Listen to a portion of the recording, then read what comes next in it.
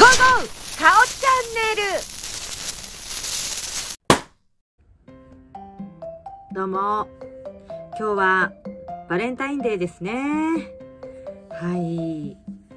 バレンタインデー。ね皆さん好きですか？バレンタインって全然エピソードがないんですよね。ほんと面白いエピソードなんか全然ない。ないしなんかこうね女性はなんか誰かに思いを伝えなきゃいけないのかなとかこれを機にとかなんかそんな勇気出せる？私とかね。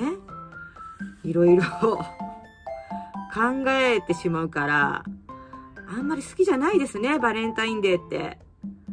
なんか女性でももらってもいいっていうとかね自分のために買うみたいなのがだんだんなんか風潮ができてできてきてからはうんでもあんま好きじゃないかもね。あでもこうまあそんなんだけどちょっとこうあのちょっとその人のことを思ってね選ぶ時があってその時はやっぱちょっと楽しいのよね。その人のことその人にねどんなのあげようかなと思いながら買ってる時は意外にえ、これじゃない方がでもこれはちょっと高いなとかね。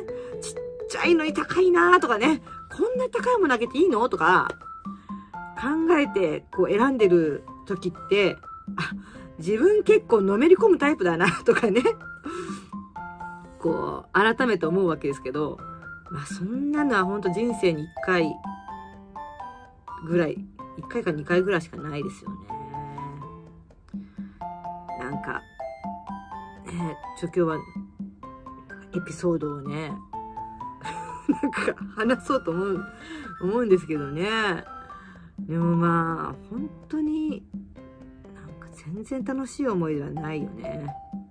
楽しい思い出がない。バレンタインデーの、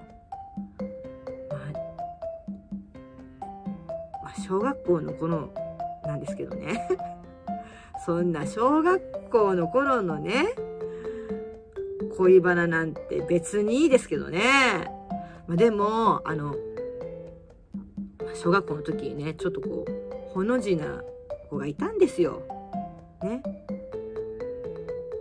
そ、その子にね、まあ、こう、チョコレートをね、あげようと思って、あの、よく昔はね、こう、下駄箱にチョコを入れるとかね、そういうの漫画とかアニメとかでやってたから、私もね、ちょっとそれをややってみたんですよ。やっちゃったんですよ。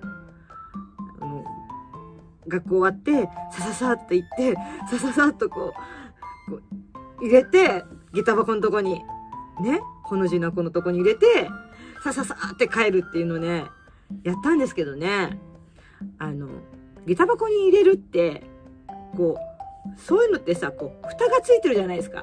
蓋がついてて、そこに入れてるじゃないですか。で、蓋開けて、男の子がね、蓋開けて、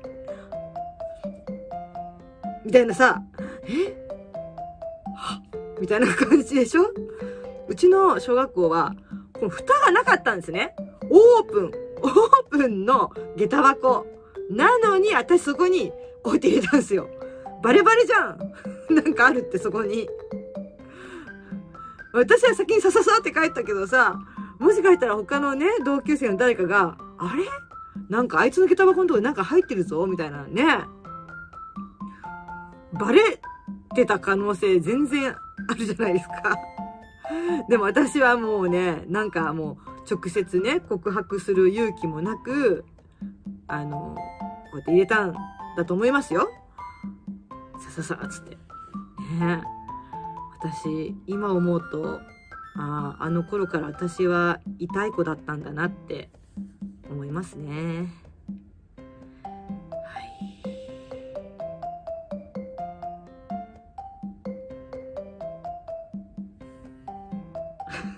皆さんはどんなバレンタインデーを過ごしてきましたか？今日はどんなバレンタインデーでしたか？